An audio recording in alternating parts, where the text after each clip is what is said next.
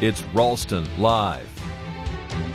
Let, let me ask about a couple of healthcare issues because as a doctor, I know you're very interested in them. There's there's a there's a move afoot, as you know, in Congress to defund Planned Parenthood. Uh, you've probably seen some of these videos, uh, uh, but you also know something about Planned Parenthood. There's there's two arguments here. One is if they are actually really selling body parts for profit, that has not been proven, but that's implied in some of the videos. Then maybe they should be defunded. Another argument, though, is that abortion is not all that Planned Parenthood does. That they provide essential services for women as well. Should the federal government, should Congress act to defund Planned Parenthood because of what's on, on those? I, I assume you've seen some of these videos. I have seen some of the videos. So, what do you think should happen?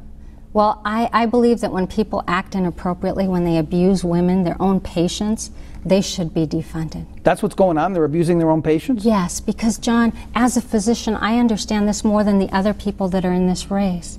You know, when you choose to have someone extract a fetus so that they can have complete body parts, that's a different kind of procedure than when you, and I don't want to gross out your listeners, but the hole that you make to be able to extract something in pieces versus extracting it whole. That's a very different procedure.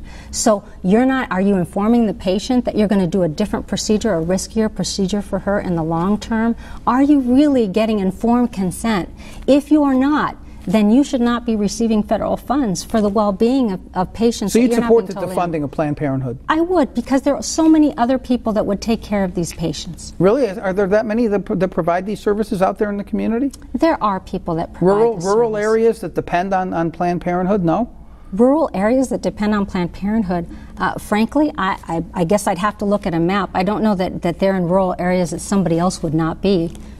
So you think somebody else could just pick up the services? I think saying. other other agencies, perhaps other programs, perhaps other physicians could pick up. Yes, absolutely. We cannot reward people who do not have patients' best interests, women's best interests at heart. Uh, the other issue I want to talk about, and you've talked about this before. You talked about it in your last uh, uh campaign.